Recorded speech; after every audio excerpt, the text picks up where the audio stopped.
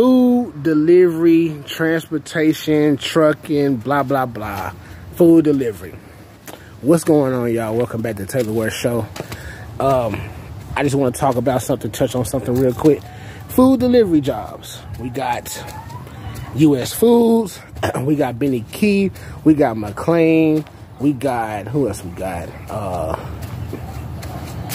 PFG, Performance Food Groups. You name it. There's a bunch of them out there.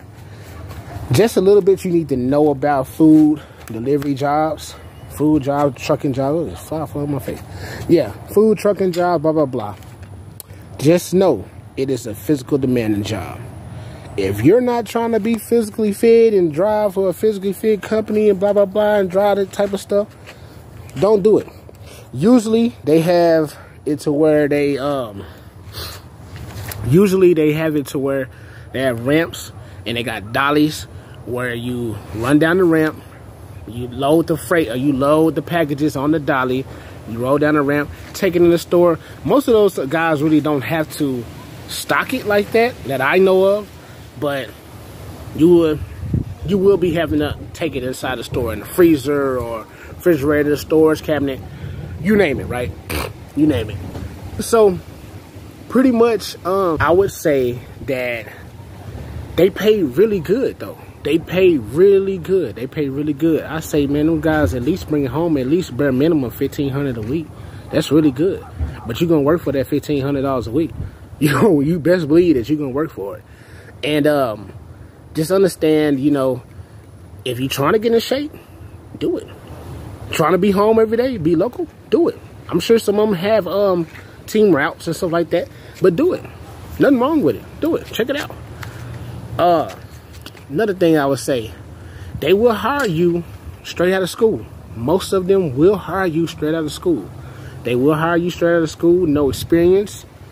The pay might be a little bit different. You might have to ride with somebody a lot longer, but they will still hire you. You know, it, that's the only thing. You know, they will still hire you. They might have overnight shifts, they might have uh, day shifts, but just know that they will work you though. I could not do that type of work because look at me. I'm a big boy. I just could not do it. But I would recommend it for anybody else that's out there that's trying to get on with that type of work. That's trying to just get in the truck and they don't want to go on the road. Because those are the jobs that will hire you without having any over-the-road experience.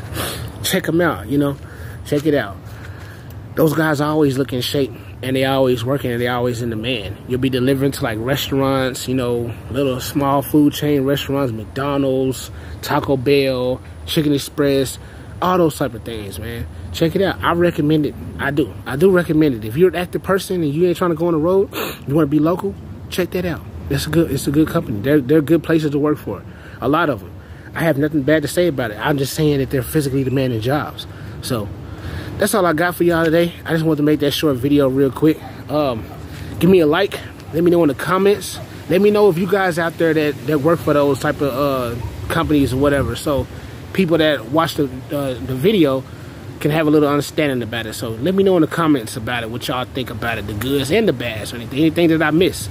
So that's all I got for y'all today. I'll see y'all in the next one. Don't forget to uh, subscribe to the channel and give me a like and give me a thumbs up.